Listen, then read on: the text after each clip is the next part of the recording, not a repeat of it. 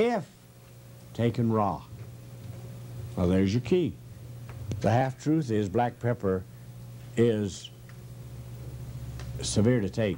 Don't take it because it will cause irritation. But the truth is, it will only cause irritation when it is cooked. When the black pepper has changed from organic, live, that can be assimilated and used to good, and switched over to dead, inorganic, that is a killer and worthless. Now there is your difference. And so this goes with all of your condiments. Remember this, all of your condiments, when they are cooked to a point or heated to where they have become inorganic, you're in trouble. Black pepper, the best way to use it is when it is coarsely ground.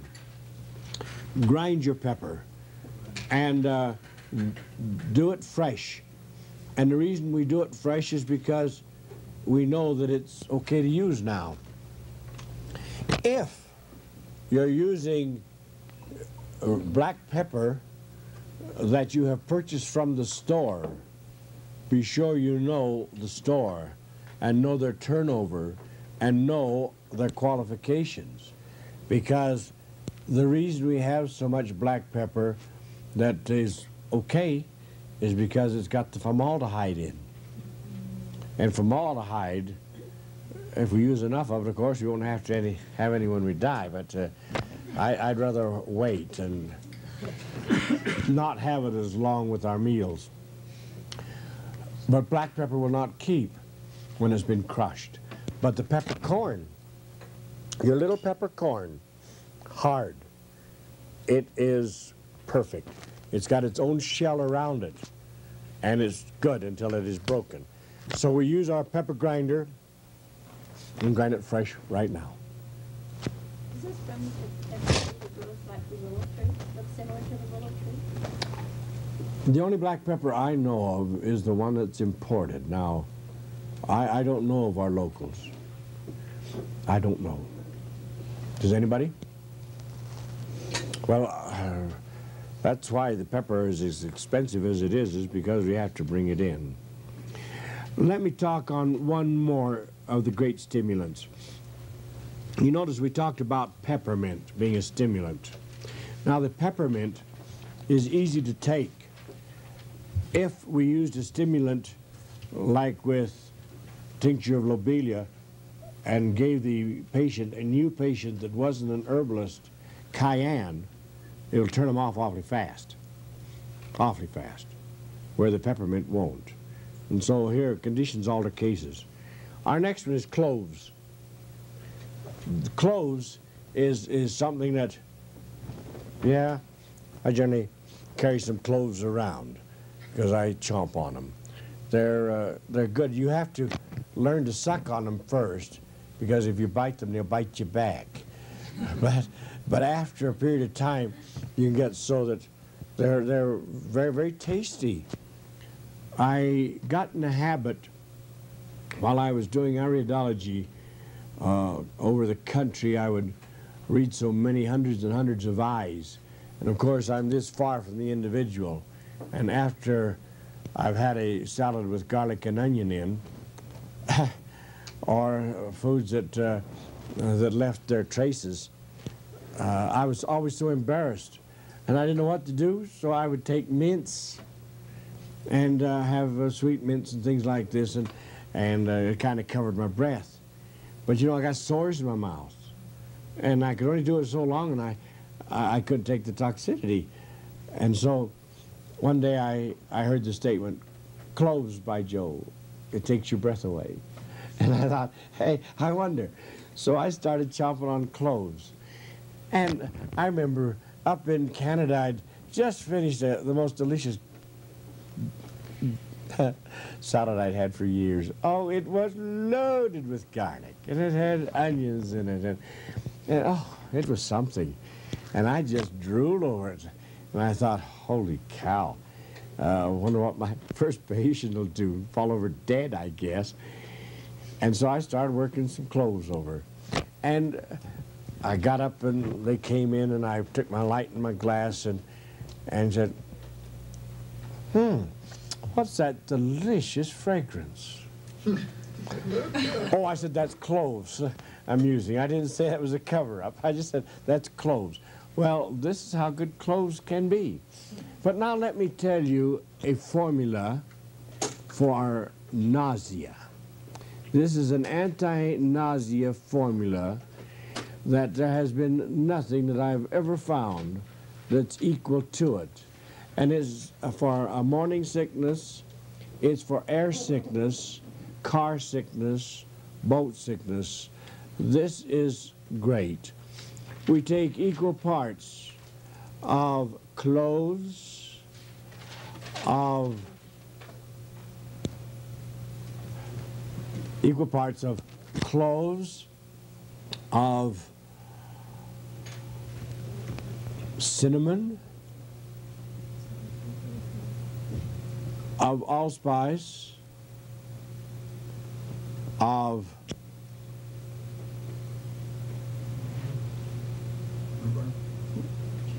of turkey rhubarb. Have you got those? Now, I give you four there. We only actually need, uh, we, we can do without the allspice, or we can substitute the allspice and the cinnamon. We can alternate those. But they'll do the job if you do all of them. Now, we take one ounce of these combined. And we make with these a concoction. And what is a concoction different from a, an infusion? The concoction we simmer. We try not to boil any concoction unless it is very hard roots or very hard bark. Preferably, instead of boiling these, we will pre-soak. And we will soak for four to six hours any of these things. But I'm just throwing this in. Yes. Decoction? Decoction. Decoction. What did I say? Concoction. Well, it is a concoction. I'm glad you corrected me on that. That'll go down in history.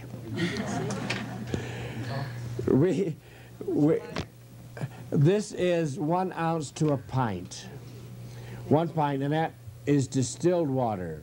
And you will find that with steam distilled water, you will take you will get 30 to 35 percent more potency out of your herbs than you will with standard tap water.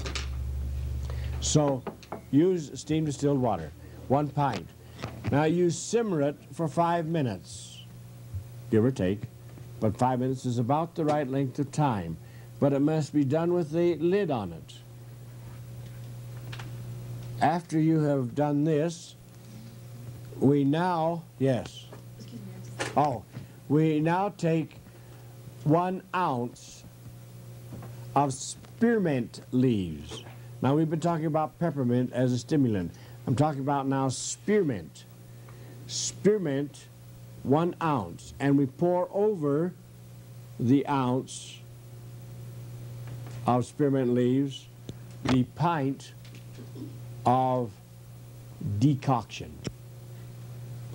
Now what we're doing, we're taking the pint of decoction and pouring it over the spearmint leaves and covering it, and now that makes an infusion. Now an infusion can be anything where a liquid has been poured over, whether it's cold, hot, it doesn't matter what the temperature is. That's an infusion. But now we've taken the decoction and made it an infusion. Now, if you can understand what I've said, uh, you have been sleeping. Okay? This particular formula that I've just given you, after it has been strained and sweetened with honey, is delicious. This is very delicious. And when you have nausea, a tablespoonful or a teaspoonful, and most anything like this will work out fine. But we have had cases, we had a case, I'll never forget, the woman had laid in bed for nine months and then had her baby because every time she would raise her head, she would go green around the gills. Nine months. And you know, she had that baby, and this woman got hungry to hold another baby. Gee, you'd think they'd learn the lesson, crazy people. but uh, she wanted another baby. And after going through nine months of this, she did it again. And when the case was given to us and we went on this house call, she had already gone over three months in bed. But she wanted to get up so badly. And we, they tried everything they'd known. And so we got called in, and this is what this formula here is what we used. And she used it, and whenever she got a little nauseated, she would take some of it. And she got over it. And she spent the rest of her time up and doing her housework. Do you think that would work for motion sickness, like in the car? or- Yes, definitely. We, we have had many cases using it in motion sickness. Uh, a problem on comfrey, you know, this is one that is planted by many to harvest roots. And uh, you plow down about one foot and go right on through, and it leaves all the small rootlets, and you harvest the roots that you take up, and you still got a full Would you do that in the fall? this is, now, wait a minute, I'm not right positive on that. It seems to me that the harvest time is, is after the leaves have started to fall. You see, the power has got to go out of the leaf back into the root. So it'd be in the fall. You plow it, plow it down and then you dig the, dig the roots up. You, you take the roots up, and the roots are cut into one inch and two inch lengths. And uh, these are, um, are ready to use as soon as you want to plant them. But the beautiful part about it is, down under where this has been dug up, you've got the little rootlets, and uh, they come right back up, and you've got a full crop. So these can be harvested regularly every, uh, I can't remember what it is, every two or three years or something of this type. And, uh, and in the meantime, you're getting all of the foliage. So you've got a full package there. The comfrey will eventually be used more and more by cattle users a cow cannot start right off on comfrey leaves. They have to uh, put it in with hay or something else and give it to them gradually. There are a few animals that can take it straight, but not too many. They're almost human. I mean, we have uh, a principle of a person could live on comfrey. It runs well over 20% protein. Comfrey is a powerful food. It's one of the greatest foods that we have got. And uh, it's going to come more and more into prominence as time comes along. There is only one thing that will exceed this that I can speak of right now, and uh, we haven't got the facilities for it. We haven't got, uh, we haven't had the monies to put into it, but this is chlorella chlorella. We took our first chlorella samples from, uh, from China and imported them. And this is, this is a, a cell type production. You grow it in water. And we harvest every seven days with a special machine. And uh, it multiplies just as rapidly as you harvest it. And then you dehydrate your um, chlorella that you've taken off, and it can be put into capsules or tablets, or the, the astronauts have used it, and it has proven very, very successful. But one thing I do like about uh, chlorella, and one day we'll come into this production, and uh, so don't forget it. With chlorella, I had some associates that uh, were in the turkey business years ago, and uh, their turkeys would grow the average of uh, uh, 12, 14 pounds, 16 pounds, and some of them would get up around the 30 pound mark. But uh, when they were fed chlorella instead of the regular poultry feed, they would get up to 70, 75, and 80 pounds. But there were no uh, C grade, there were no B grade, everything was A grade. The animals that were grown, some of our associates grew some um, hogs, and uh, they, they got such tremendous growth from these that uh, it was almost unbelievable the size that they got. But it was all grade A. Everything was grade A and far superior merchandise by far. No, chlorella will come to the light. I don't know, this is the first of my lectures I've ever talked about chlorella. I, I was hired many, many years ago by a Russian scientist. He couldn't speak English, and so I would uh, precede him and lecture on chlorella. And uh, uh, he, he could get the messages to me, and then I would put them out to the public. Well, we, we started growing it, and the things that we have seen, the animals, they do not have pituitary pineal control always, and oftentimes we'll find cattle and uh, rabbits and various things that'll grow three, four times their average size. But it is all grade A. Um, this is interesting. We have found that humans do very well on it. So one day we'll tell you more about chlorella. We'll uh, maybe let you visit a ranch someday. All right. No, I'll tell you, I'm very, is there some? Where? Spirulina, have you heard of the spirulina plankton by Dr. Christopher Hills? I just got an article on that and didn't have time to read it the other day. That's it. Is, is that chlorella? This, they spirulina No, where's that? at? algae, At where? a better source actually than chlorella. Yeah. Oh, I have some. A better algae type? Yeah, What do you feed it? We had to feed, everything in it is a survival food. We had defeated uh, bloods and things these, when I was working with it years ago. But chlorella is bacteria, No, this is an algae. No, it's an algae. It's a but vegetable it, source. it eats bacteria. It does eat bacteria?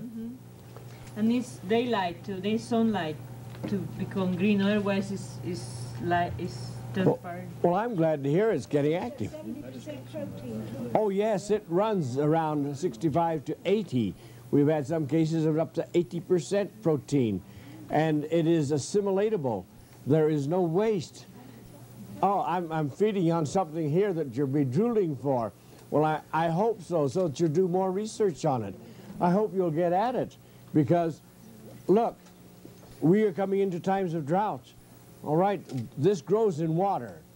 And so we'll, we'll have to learn how to keep our waters purified and know the areas where we can depend on water and clo- grow our chlorella. It uh, goes on and on and on. It doesn't die if you take care of it properly. I don't know how we got on this subject, but it's interesting. I have a lot of it me if you'd like to try it, and I also have chemical analysis that I'll give to you. This sounds interesting. You know, it's been a number of years since I've had a chance to work with chlorella. I've been so busy on other things, and and the Russian gentleman I heard the other day is he's got uh, around the hundred year mark, and he's uh, still out uh, uh, trying to get things going. But what actually spoiled it in the state of Utah, and I'm sorry to say it, some uh, naturopathic friends of mine got on the bandwagon and uh, instead of going through as was taught and prescribed, going up gradually, they made a stock promotion of it. And uh, the two naturopaths had to move out of town. They're looking for them. And, I, and, and these are things that make things unsavory, and I don't like it. But uh, the procedure of learning the principles of chlorella is good and it's accurate. So get into it. This is a thing of the future. And what are we doing now? Herbs are a thing of the present, but also a thing of the future because we have now, instead of 350 odd herbs as known at the times of Hippocrates, we have 3,500,000 herbs to work with. And this makes things more interesting as we go along. We're going into the tonic herbs now. And the tonic herbs are those that tone up the body, uh, tone it up in uh, various areas. So let's go into some of these. Uh, barberry is one, and barberry is one of the great uh, tonic herbs. A tonic herb is something that tones up.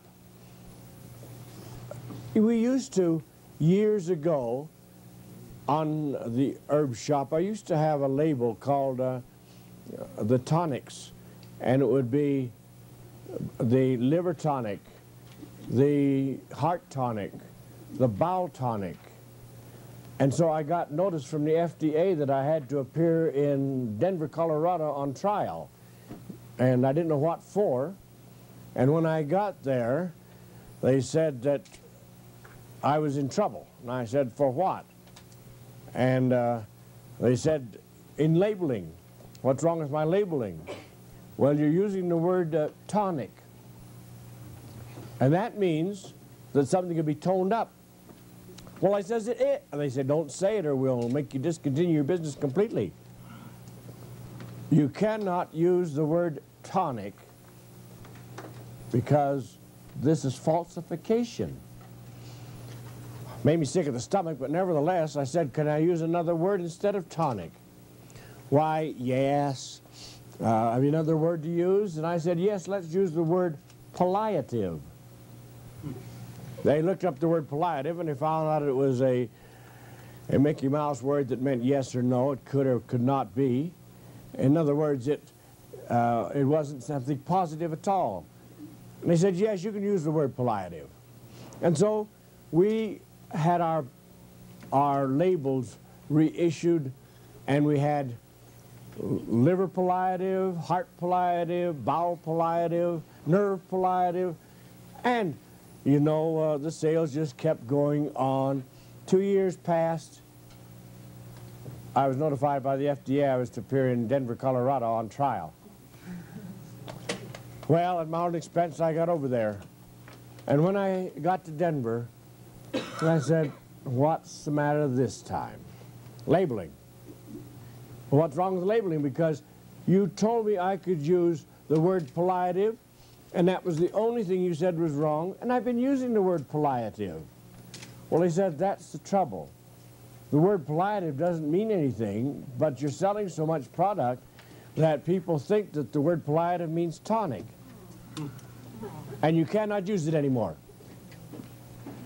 Well, folks, you know that kind of sticks in your craw when you get this thing often enough over as many years as I have. And I'm about ready to ask them to uh, find a new home or something. But we're now on tonics. now, don't tell me they don't tone something up, or I'll walk out of here. I've had it. All right, I'm just kidding. Barberry. Barberry is one of our bitter tonics. Now, this is a peculiar term that's been used bitter tonics. And this has been used for quite a few years, especially by the medicine men and the traveling snake uh, oil users and so forth and so on. They would say, we have the bitter tonic. Well, any tonic, so help me, isn't vanilla flavored. it isn't sweet. It's bitter. And that is double usage of a ridiculous term. Bitter tonic. Barberry. I ask any of you to have a cup of barberry tea and tell me it isn't bitter. And if you do, we'll get you a job with Barnum and Bailey. because here is one person without the taste buds. That is bitter. You know, an interesting thing about barberry tea, it has been given to children for many, many years who don't eat. who are never hungry, who has no appetite, are going downhill and getting thinner and thinner. And we give them barberry. And it is a tonic. I'm brave enough to say these words right now. Is there anybody from? Ne- nevertheless, uh, tonic. It tones up the system, the liver, and the gallbladder. And we have seen children who wouldn't uh, eat before, even under pressure, they would turn the food away. That after they've had the barberry tonic, they would eat you out of a house and home. It's great. So these are just to tone up the body. Now the barberry will also tone up other parts of the body. We speak of barberry, the Berberis vulgaris, but remember the the sister plants are called Rocky Mountain grape and uh, Oregon grape. These two are similar to your barberry, and you find them up in the northwest area more prominently sometimes than you will find your barberry. Here we have another herb, and that herb is called golden seal. A golden seal is a terrific herb if it is used properly, but it is like the heat that heats the house. It'll either heat it or burn it down. That heat has to be kept in control. Now, they kept it in control years back with a product called Viavi. How many know the product Viavi? Any of any? Hold your hands up. Not a soul. I guess I'm older than I thought. Viavi used to be a uh, dead runner for, uh, for what was her name, Perkins? Uh, Lydia, sure. Lydia Perkins. Pinkham. Lydia Pinkham's Pleasant Pellets. Yeah, that's it. Anyhow, Lydia Pinkham, well, Viavi ran uh, an awfully close race because they used a, a, a good quality and quantity of golden seal in it. But they used other herbs and it was good for female problems. Lydia Pinkham, Lydia Pinkham, yeah. Uh, she used to have a name in every home practically. But Viavi is not being used much anymore. There are a few people once in a while that handle it, but it's not too often.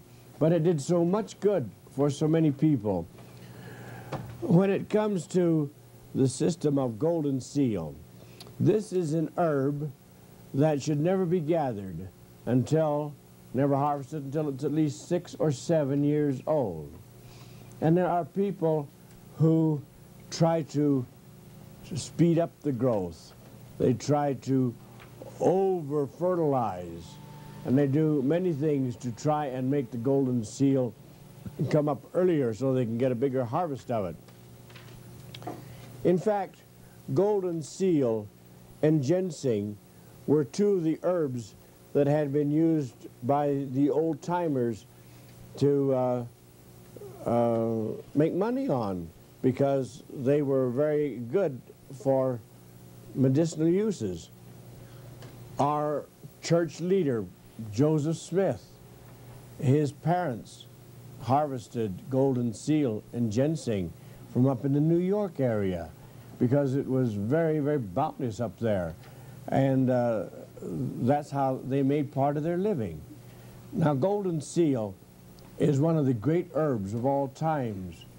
It is an antibiotic, superb. Your golden seal will cut infection. It will do so many things. But we make a mistake and we forget that as potent as it is, it can be a little on the uh, dangerous side. Golden seal can be used with no harm at all to get rid of our infections and things of this type. But if we continue to use it in large quantities, we can be in trouble because the golden seal will eventually eat the vitamin B out of the body and we will lose our animation. We lose all our desire to do things. We, we've had cases where They had no, absolutely no desire to even get up in the morning, no desire to go to work, no, they didn't want to do anything. I remember reading a lady's eyes once. She'd come in and I looked into her eyes and I saw the animation area at 12 was black. And you know, now it could have been from not having electrical energy going through the body that I spoke of, not uh, keeping your shoes off or wearing the wrong kind of clothes. But every once in a while in readings, and you'll all run into it if you haven't already, crazy things come to you. But uh, I, I looked at her eyes and I said, My word, ma'am, how much golden seal do you use? It just came out of the uh, air. She said, What golden seal? Oh, well, she said, I got some on bargain. I got it cheaper by almost one half of what I've been buying it, and so I'm taking a tablespoon or more a day. Well, what had it done? It had eaten the vitamin B out of her body. Right, it's, it's like the fire. It'll cook your meal or it'll burn your house down. It was burning her house down now, yes. I've heard of um, about using golden seal or not using it with the hypoglycemia. Do you know anything about there? Are a number of formulas that are made up for using golden seal in hypoglycemia. Of course, my belief is not to work on hypoglycemia any more than the diabetes. Our principle is to go to the cause and rebuild the pancreas. And in the pancreas, we don't need the golden seal. So what you're actually doing is furnishing an artificial. Though it is a natural herb, it would be artificial in the fact that you're supplying insulin in the form of golden seal. And they oftentimes will use too much of it. And when they use too much, the vitamin B is eaten out again, and animation is lost. Well, on this particular case, we informed the lady to discontinue the golden seal until we had gotten rid of the uh, animation dark lifeline. And when that was gone, then she wanted some golden seal, to cut down. And what do we recommend? A number five capsule maximum, two times a week. Now, if you know what a number five capsule is, my fingers are a little too big and sloppy to put them together. I have to get people with more delicate hands than I've got to put number fives together. So that's about what you would use for a week. But golden seal is tremendous. Now, we go into ginseng. Ginseng is an herb of herbs. It is one of the patriarchal herbs. This also must be harvested after its seventh year. Now, by osmosis, it is taken from the dust of the earth, the many minerals. And one thing about being a patriarchal herb, they have the ability of taking not two minerals or three minerals or few, but they take many of the minerals and gather them in, and they have the ability of storing them. Now, the patriarchal herb is more than an annual. It's a perennial or one that lasts for a long, long time and grows year after year after year. So it would be a tree or something of this type. So your uh, ginseng is a patriarchal. And on the ginseng root, as you look at it, each year it will come out into a new area on the root. It will uh, come out uh, through the ground, but you'll go down and it has got a new year bud on it. This year bud, when you've learned to read them, will be three year, five year, seven year. And I have on my shelves in my library at home a ginseng root that has on it 83 year knobs. 83. There are some that'll go well over the 100 year mark. They have been alive this long. And during that entire time, they are collectors. They are patriarchs of knowledge, of knowledge in the way of minerals. And they store them up. So when you're taking ginseng, let me once again say this is a marvelous tonic. Terrific. But don't overdo it. Don't ever overdo it. Start with your ginseng very small, yes. uh, a medicine man in San Diego that I'm studying under told us about how when he was in the Indian tribe, they'd go out at night and and they would see that this was uh, glowing, and then they'd mark the spot and come back the next day and pick it. And what they found, and this has been supported now by Russian research, is that the nutritive value isn't the main thing. And this is why they suggest that it works on some people so wonderfully well and on other people they can't tell a difference. And what it does is to provide the electrical energy.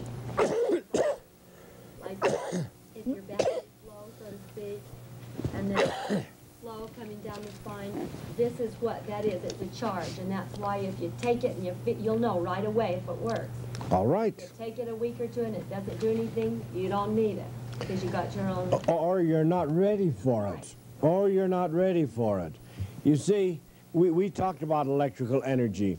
This is part of it. Of course, the universal mind will drop us a prana.